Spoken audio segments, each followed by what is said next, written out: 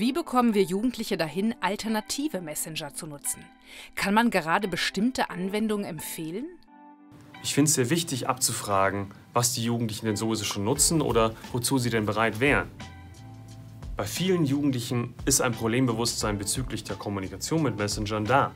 Da kann man ansetzen, man kann das thematisieren, man kann gemeinsam mit ihnen überlegen, was sind vielleicht auch die Probleme praktischer Natur, rechtlicher Natur, bezüglich Sicherheit, Datenschutz und so weiter. Wenn ich die Möglichkeit habe, bevorzuge ich die Messenger Signal, Open Source und besonders sicher, und Threema.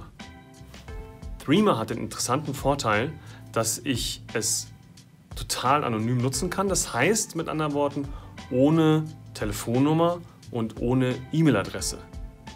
Wenn ein Jugendlicher dieses beides beim Anmelden nicht angibt, dann ist er auch nicht der Altersbeschränkung unterworfen. Das heißt, er kann auch jünger sein und rechtlich einwandfrei den Messenger nutzen. Dafür kostet Threema aber 3 Euro und das ist eine Hürde, die in vielen Fällen leider ziemlich hoch ist.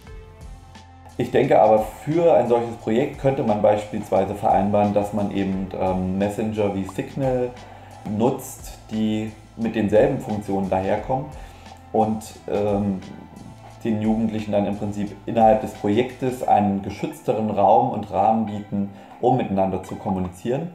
Ähm, und vielleicht kann ja auch beides nebeneinander stehen. Das heißt ja nicht, dass man sich für das, unbedingt für das eine oder andere entscheiden muss. Ich denke aber, man sollte das zumindest gemeinsam ausprobieren.